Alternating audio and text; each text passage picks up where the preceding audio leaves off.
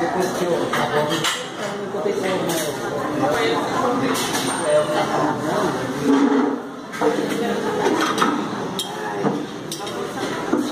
Seu avô aqui, ó.